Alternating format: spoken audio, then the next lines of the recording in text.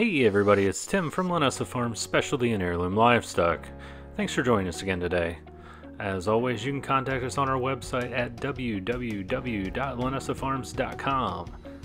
Give us a call or send us a text at the number listed below or shoot us an email at customer service at linessafarms.com. All of these videos are made for people just like you based off the feedback we receive. If you have questions, let us know and we'll make a video just for you. Don't forget to subscribe and we really appreciate those thumbs up. Today we're talking about how to treat hypothermic lambs. Without further delay, let's get started. Hey everybody, it's Tim from Linessa Farm Specialty and Heirloom Livestock. I've got a special uh, video for you here I didn't plan on making, but this could happen to you. Uh, happens all the time, especially in the colder climates. This here is a hypothermic lamb. Uh, this lamb was born premature. It was found down. And so the question now becomes, what do I do? Um, well, heat lamp ain't gonna cut it, folks. Um, no way. The first thing you wanna do is take your finger, put it inside the lamb's mouth, and feel if that inside that mouth is cold. Um, if it's cold, you wanna feel if the animal has the suck reflex. Um, and in this case, no suck reflex. The animal is extremely cold and is actually doing much better than when I first brought in. When I first brought in, um, it was pretty much dead. Um, so what I'm doing is I'm hot dipping this lamb. Uh, word of caution, uh, when you do this, uh, that is it. It is game over. Uh, the mom will not take the baby back after this occurs, um, but it beats having dead animals. You can do this exact same process with a lamb or with a goat. So what I'm doing here is I'm getting this water as hot as I can stand it. Um, and as hot as this baby can stand it. And I am going to get this baby in here and I'm trying to warm them up. Now this is not gonna warm up their core. Uh, this is just going to warm up uh, their peripheral, uh, their peripheral vascular and kind of start getting the, the ball rolling. I'm gonna let them warm up like this for a few minutes and then I'm going to tube feed them something warm. I highly recommend you hot dip them first um, and then give them a warm tube feeding. The reason for that is uh, if you just go straight from hypothermia into the hot tube feeding, uh, you can cause the animal to go into shock and die. So I'm watching his head, I'm cradling it, making sure that I'm not cutting off his primary air supply, and to make sure that he um, is as comfortable as he can be without um, pinching off his esophagus. Um, his respirations, you'll notice their respirations will slowly start to increase. Um, and that's the that's what you want. So I'm just letting him get hot in here and letting him warm up. I'm gonna do this for about three or four minutes. Hypothermia, um, pretty easy to pull them out of so long as you catch them before they die. The body responds really well to getting cold. Um, the system just essentially slows down. And once we can heat back up his core body temperature, we can get him um, going again. So I'm gonna leave you for right now. And then here in a minute, we're going to uh, remove him, dry him off, lay him on his side, and then I'm gonna demonstrate uh, how we go about doing a tube feeding. The lamb is out of the hot water. Its respirations right now are, are pretty slow. Um, but he is starting to warm up. I feel inside of his mouth he's ice cold. So what I'm doing now is I've got my formula that I've made. Um, I'll put a recipe. We'll talk about the recipe at another time. Um, I have a high fat mixture in here um, and it is just about as warm as I can stand to have my finger in. Um, and this is what's going to heat up this this um, core temperature on our little fella here. So I don't want to give him too much.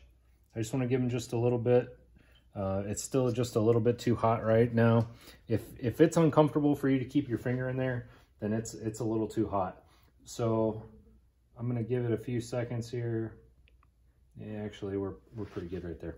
All right.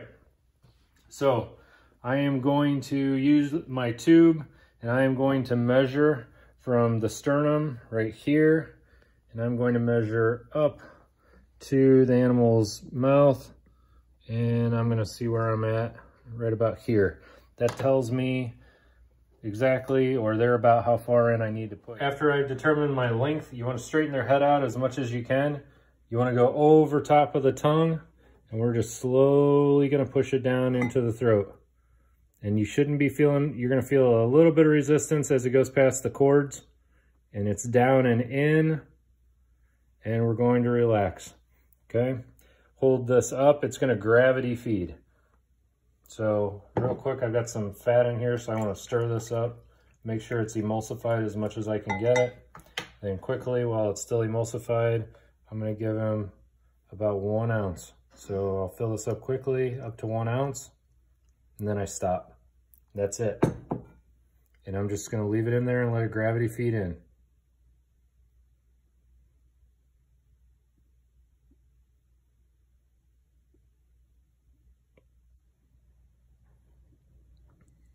Once it's done gravity feeding in, I'm gonna give it a few seconds and you should hear kind of like a pop sound come from this. And that pop sound signifies that it's done. So at this point, quickly in one swift motion, remove the tube. And that's it. So what this is gonna do is this is gonna help his core temperature to heat up. And it's gonna give him uh, some nutrition that he needs. Do not attempt to bottle feed an animal that cannot swallow. They will aspirate and they will die. Okay, so at this point, he is, he's still cold.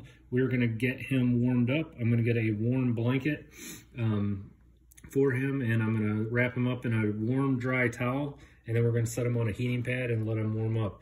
Um, more than likely, he should recover. It's gonna take a little bit of time, um, but we should be okay. So uh, this is another method you can do other than putting them on the heating pad. I feel it actually works a little bit better. And as you can see, our guy here is doing much better. If you want to see the respirations, you can watch the tip of his nose. See how his nose is flaring? That means he's taking a breath every time and you can see his chest is rising and falling as well. So we're in, we're in uh, good territory here. His respirations have come back. He was pretty much dead when we found him. He was having respirations of uh, just a couple, guppy breathing, maybe per minute. Um, his mouth is still really cold, um, but we're on our way. We're warming up. There's no suck reflex. His mouth is still cold. Um, so we're just going to keep warming him up.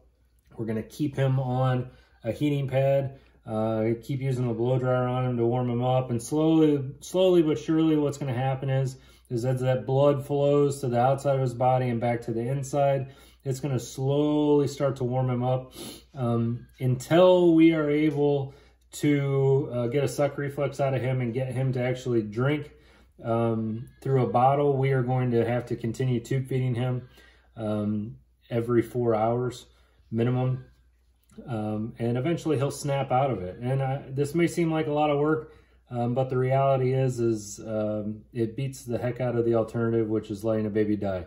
So he's going to make it. He's going to be okay. You can see that um, he's doing okay. We've got a, some reflex in the eyes. Um, usually if you poke around the eye, you can see he'll kind of wince and move his eye a little bit. Um, and you can see that he's breathing on his own. So we're in good territory um, and we will keep you guys posted.